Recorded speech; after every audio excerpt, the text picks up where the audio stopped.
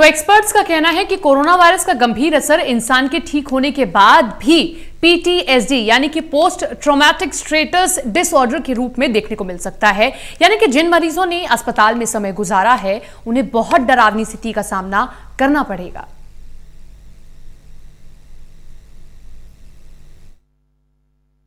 Corona virus से दुनिया भर में हाहाकार मचा हुआ है। विश्व में एक करोड़ चार लाख से भी ज़्यादा केस अब तक सामने आ चुके हैं। पिछले छह महीने से इस वायरस से दुनिया त्रस्त है, लेकिन इसका इलाज अब तक नहीं मिल सका है।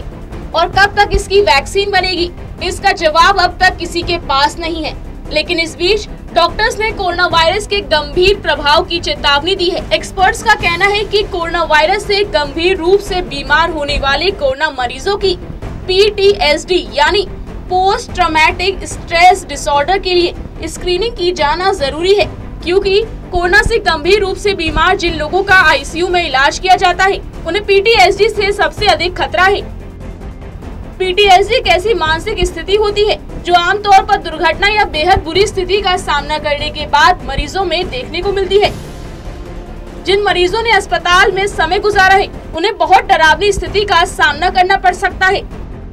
उन्हें लंबे वक्त के लिए दिक्कतें हो सकती हैं, तनाव से जुड़ी मानसिक समस्याओं का भी सामना कर सकते हैं।